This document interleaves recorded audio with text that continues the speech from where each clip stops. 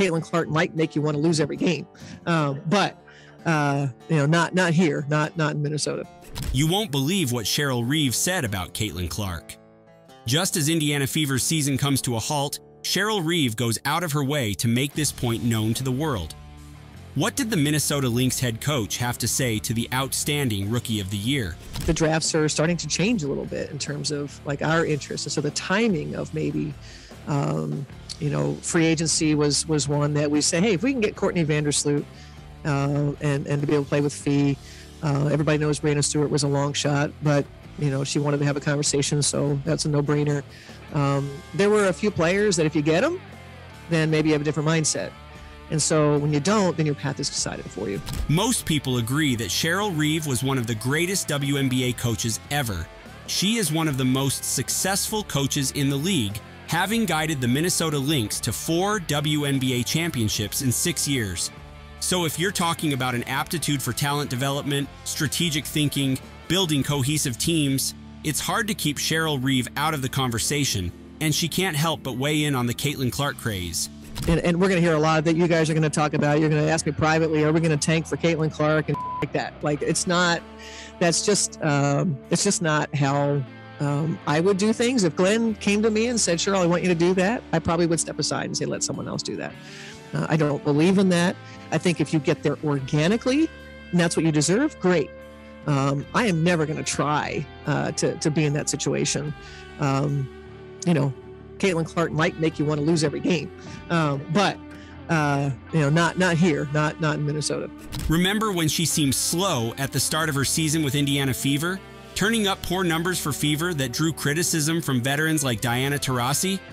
Check that out in our previous video, and guess who's laughing now? When you finish your season with 200 plus points, it's safe to say you're good for the hype. Tied with her teammate Kelsey Mitchell, CC ranks 7th in the WNBA for points scored per game. This scoring performance ranks the rookie as the best among rookies, ever.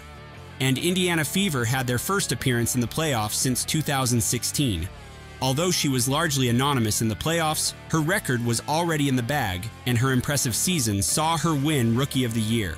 Maya Moore and Napheesa Collier are two players that have won Rookie of the Year under Cheryl Reeve. Her methodical approach to coaching is quite keen on ball movement, defense, and discipline. Maya Moore, Sylvia Fowles, Napheesa Collier, and Seimone Augustus owe a great deal to Reeve.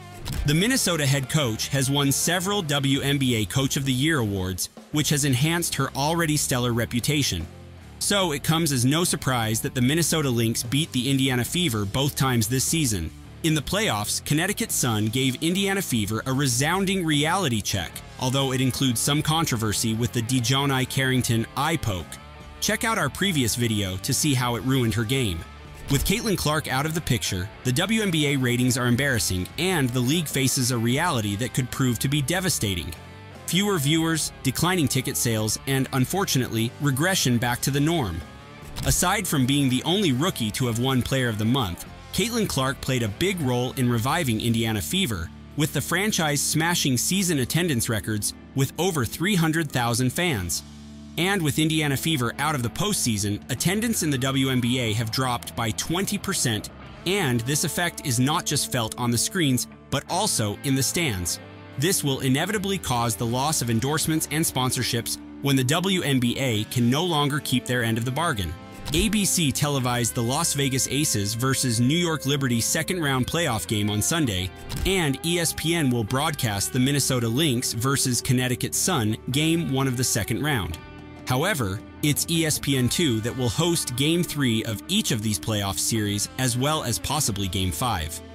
Tuesday's games, Las Vegas at New York and Connecticut at Minnesota, will air on ESPN2, while ESPN's main channel carried both of Clark's postseason games. Sports networks are bracing up for the impact of a Clarkless WNBA on their viewership too. Outside CC, not a single game has eclipsed half a million views. What do you think of this move to demote WNBA playoffs on TV? Let us know in the comments section below. Cheryl Reeve acknowledges the impact CC has on the game as she is highly marketable.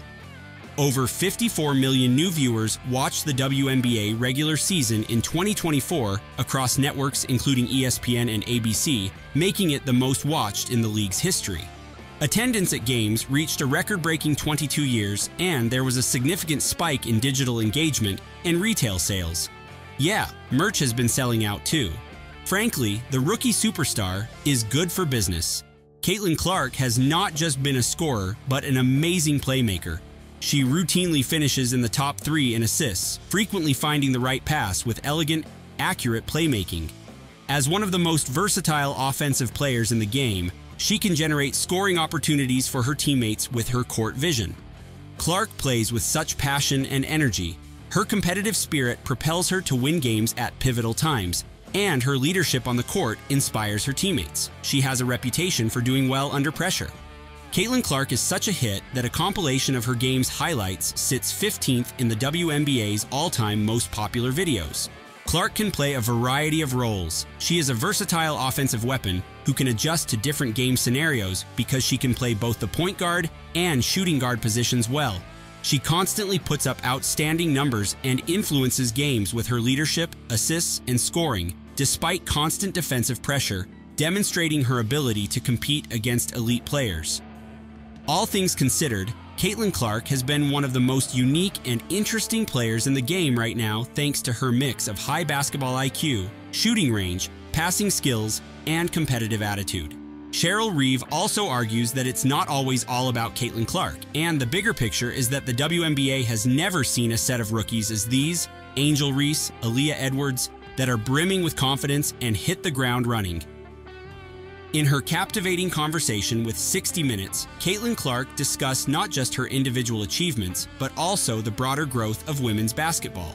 Sports have a knack for bending stats to fit desired narratives, but the W's growth figures astound. TV ratings have spiked 153% from last season, and that's before the playoffs, which began last week. Gradually, then suddenly, this 27 year old league has become a prominent player in the modern sportscape. They discussed the ways she has transformed the league and also went through moments of her incredible college career. Building off a college season in which, unimaginable just a few years ago, the women's championship game outdrew the men's, W games can draw more eyeballs than NBA games do. League wide attendance is up 48%. Did she get under pressure at certain moments? How did she handle the excitement enjoying such a prominent role in the Fever franchise? I'm Like begging my dad to like tear up some grass and pour more concrete so I could have an entire three-point line in my driveway. Did that really happen? You, you extended your range Oh, yeah. by dumping more concrete? Yeah, because it was like kind of slanted. Our driveway was like slanted, so I only had a three-point line on one side of the driveway. So I told my dad he had to tear up all this grass, and he did.